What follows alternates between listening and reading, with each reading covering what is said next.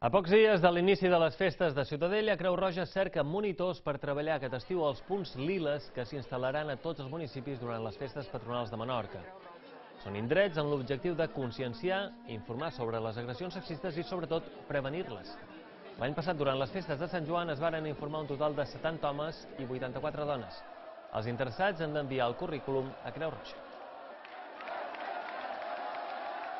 Que tinguin formació en àmbit social i també que tinguin coneixements específics sobre prevenció de violència de gènere, coeducació i sensibilització amb aquests temes.